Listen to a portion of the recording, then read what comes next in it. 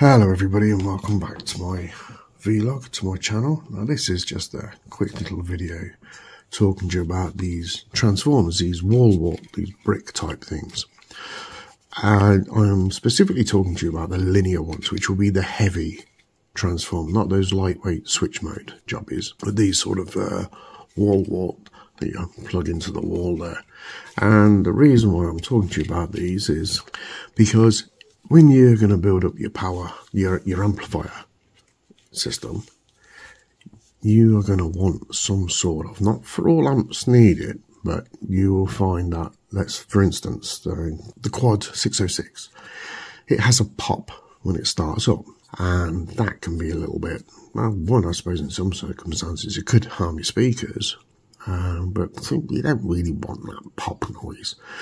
And the reason why you get the pop noise is because, let me give you an example. So you're powering up your amplifier. You've got a, uh, let's say it's 40 volts, zero, and then a plus 40 volts, zero, and minus 40 volts.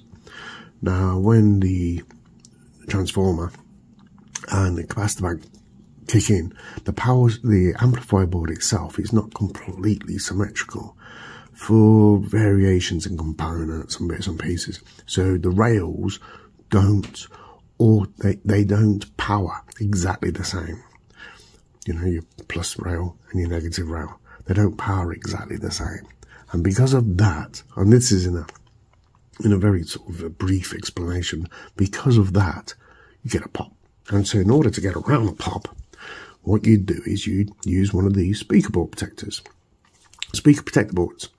And here there's this uh, CP1237 or 1327. It enables with the use of these few extra uh, components to put a time delay on between when the power goes in and these relays open up. Here you'd put your left speaker in ground and the positive, ground and the positive for the right.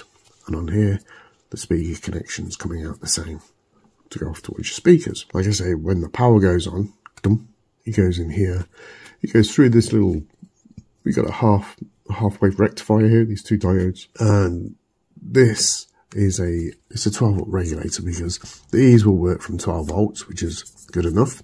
But the 12 volt AC that you put in here, once it's gone through its rectification through the capacitors, is just under 17 volts. That's with no load to it. So it might be to pull down a little bit more because you need a little bit more than that to actually run these, uh, these voltage regulators because it's got its own overhead what it needs to use, and of course the diodes you've got about 0.7 of a volt drop depending which way you're going up the signal, it's going to drop. If you're going down the signal on the sinusoidal, this one's going to drop its uh, voltage off. So, but what do we do about the transformers? Because that's another expense, and not everybody likes the idea of having to try and find another transformer. Well, that's where these things come in handy. This one's not very good because it's 4.5 volt output. We don't want that. We want one with a 12 volt output.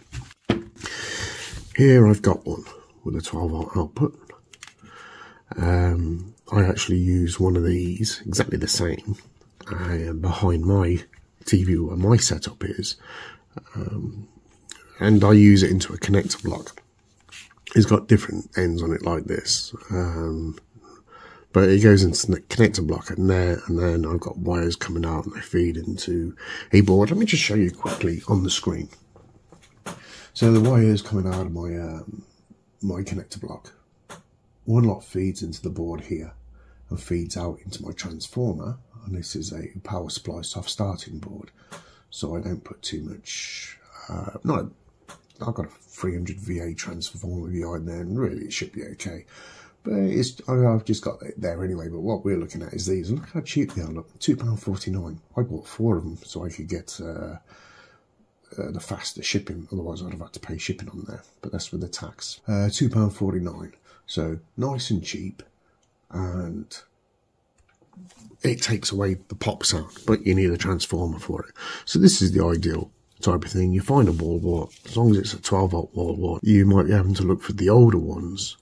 Uh, because like most of the new ones now, these, the ones I've got, these ones all come from router. So yeah, so th th that's what you want. You want one of these things that says 12 volt output on here because uh, it's been regulated to the 12 volt output and you can use the transformer there and you just plug it into here and I'm going to very quickly just wire this up and show you because you can see that there's a time delay between this is the power light and this is the it's on light uh, and there's a time delay and that's what you're looking for.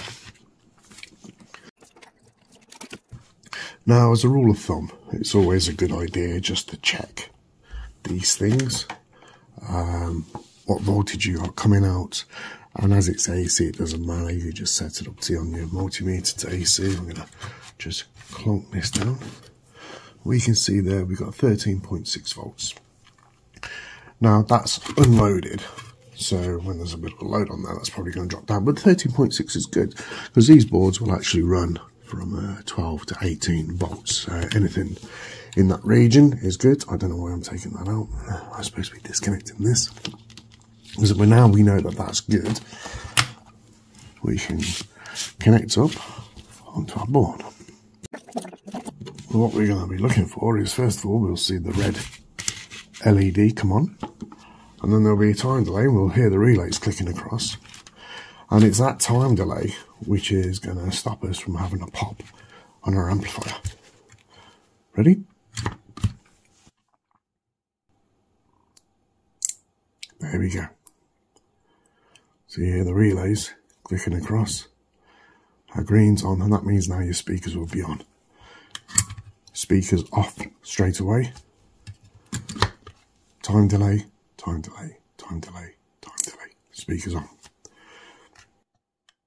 And that is that all important pause, that mute start for stopping the pop. Because by the time your speakers come on, all that would have happened and um, you would not have noticed it through the speakers.